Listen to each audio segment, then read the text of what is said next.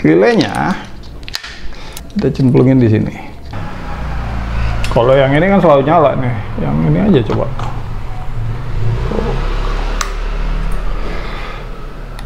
Tuh. Ini udah masuk semua udah disambung-sambungin. Tinggal powernya aja yang dari Highling belum kita pasang. Ini kita solder aja. Ini apa nih? Kita potong-potong. Ini kan kemarin nih power strip yang ini. Ada dua power strip yang ini ntar N nya yang ini L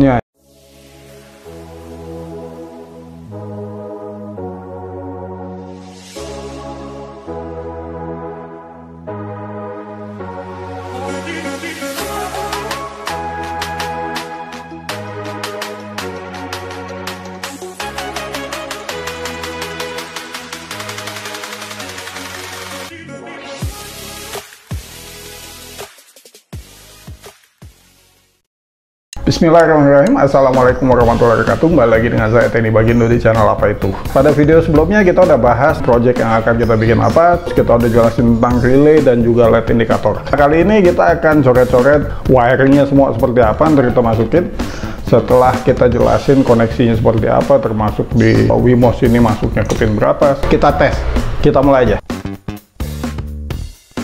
kita punya beberapa modul, mungkin 4 atau 5. Kita mulai dengan Wimos di satu ini. Touch sensor ada dua biji, powernya Highling ke L, ini N. Keluarnya ini 5 volt, ini ground.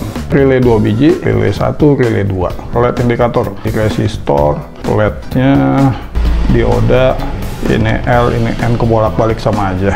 Pasang ke L ini ke N. Swingmos kita mau pakai pin apa aja? D5 D6 buat touch sensor D7 D8 buat relay. Di sini 3,3 volt ini 5 volt ground terus apalagi di D1 D2 TXRX D8 D7 D6 D5 D5 sama D6 kita masukin ke touch sensor ini kayak push button aja.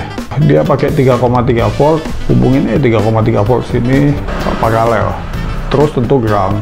Ini kita hubungin ke ground. Relay kita bahas tentang sisi logiknya dulu. D7 D8 masuk ke relay yang satu lagi. Ini masuk ke base nya transistor kemarin kita udah bahas. Tentunya perlu ground kita kasih ground. Ini juga ini ground. Terus kita kasih 5 volt dari Highling ini kita masukin ke sini langsung. Jadi yang dari Highling cuma dua kabel sama ground 5 volt sama ground. Jadi kita pakai D5 D6 D7 D8 ntar lebih kelihatan saat kita bahas sketch nya ini apa nih? Kita potong-potong. Ini kan kemarin nih power strip yang ini. Ada dua power strip yang ini ntar N nya yang ini L nya jadi dari listrik dinding L masuk ke sini kita paralel masuk ke Highling kita paralel ke sini N-nya juga kita paralel ke sini. L-nya ntar kita masukin kita masukin sini kita jumper kita kita solder. Ini L-nya masuk ke sini relay kan ada 8 pin. Kita jumper ke sini ini L juga. Terus yang tengah normally close gak kita pakai normally open normally open. Kita masukin ke kalau kita gambar aja gini ya ada tiga biji kan? Kan ada tiga biji. Nah ini sini dari normally opennya kita jumper ke sini satu yang satu lagi kita jumper normally open lagi ke sini. Ini N nya tiap titik ini ada LED nya nih. Di sini juga ada LED nya di sini juga ada. Jadi kalau ada listrik atau relaynya aktif otomatis LED ini nyala. Ini Wimos nya udah saya solder-solder. Kita masukin aja. Relaynya kita cemplungin di sini ntar kita lem biar dia nggak lari-lari. Oke ini juga. Udah. Dia fix tuh. String groundnya saya buang karena kita nggak pakai ground juga. Colokannya cuma colokan dua gitu. Buang-buang tempat. Ini kabelnya udah tinggal kita rapi-rapin. Ini dulu touch sensornya. Kita pasang di sini. Sini satu sini satu. Cuma harus dilem kita lem belakangan dulu ya. Touchnya udah in place. Terus ini. Tinggal kita geser ke sini nah, bagusnya ini kita lem pakai misalkan kayak pakai apa ya?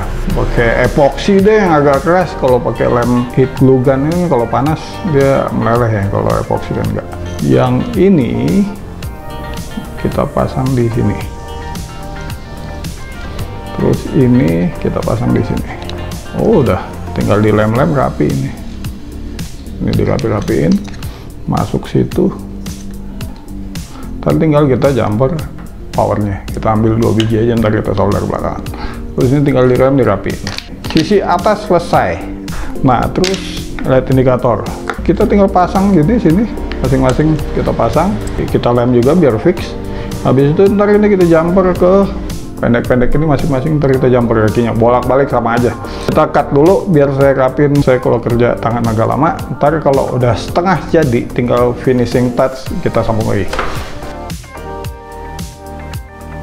ini udah masuk semua udah disambung-sambungin tinggal powernya aja yang dari Highling belum kita pasang ini kita solder aja. Ini kita pasang aja. Cuma ini agak tricky karena ini penuh dalamnya. Nah udah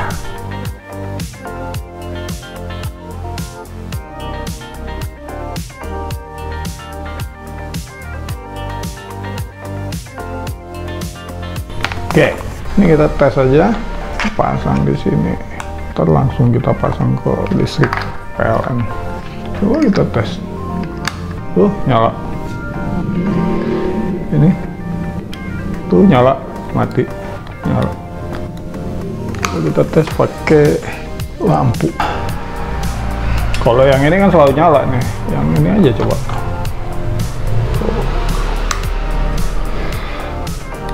Tuh jadi udah selesai tinggal kita pasang ke dinding. Powernya ntar kita ambil dari sini. Mungkin ntar kita pasang di sini. PR berikutnya sebenarnya di ruangan ini wifi nya jelek banget. SP ini kalau nggak ada wifi dia agak repot. Ntar video berikutnya kita bahas tentang code-nya. Kalau kita touch di sini di web juga otomatis update statusnya apakah nyala atau mati. Terus juga ini ada kabel-kabel yang nongol. Rencananya buat PDS meter DIY kita bikin pakai peniti itu aja. Semoga bermanfaat. Seperti biasa kalau ada penjelasan saya yang salah tolong tulis di komentar. Jangan lupa di like dan subscribe. Assalamualaikum warahmatullahi wabarakatuh